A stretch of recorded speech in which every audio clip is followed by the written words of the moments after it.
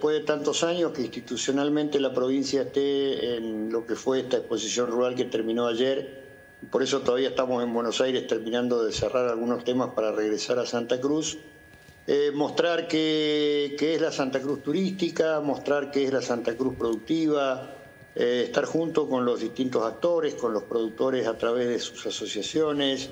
eh, tener la visita y la presencia, perdón, de la, de la ministra de la Producción, con quienes trabajamos este tema en común, eh, ver algunos eh, artesanos y productores de distintos temas de, que hacen a la importancia de Santa Cruz también en el stand, haber sido un lugar de encuentro, porque también eso es importante, y el comentario fue muy positivo, o sea que, la, presentación del stand, la, la concurrencia, el lugar, eh, hasta la simbología de que eh, parecía que era eh, el stand un, galpón, un galpón de esquila, que es tan identificatorio de nuestra provincia de Santa Cruz. Creo que, creo que ha sido muy positivo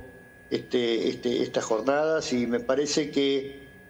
bueno, por lo menos el objetivo que nos planteábamos en su momento en conjunto, distintos organismos se, se, cumplió. ¿no? Mm, bueno, mostrar parte también de los campeones que tiene la provincia de Santa Cruz, ¿no? que es, es muy importante, Javier, eso.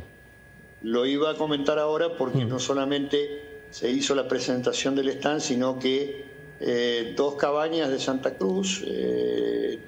Chico y Cóndor, que trajeron sus animales también después de muchos años acá a Palermo, sacaron las máximas premiaciones. Bueno, creo que todo eso demuestra la pujanza y lo que estamos haciendo en nuestra provincia. Haber traído también eh, la tecnología de la lana, a ver que mucha gente vea por primera vez, porque por el predio de Palermo, circula mucha gente todos los días, eh, haber visto allí cómo se esquila una oveja, cómo se trata un vellón, tener al, equipo del PREPAP, de, de, quienes hacen la tejeduría manual y, artesanal, que con esa lana que se esquiló en el predio, luego se hacen esas prendas, bueno, me parece que todo eso fue realmente muy positivo.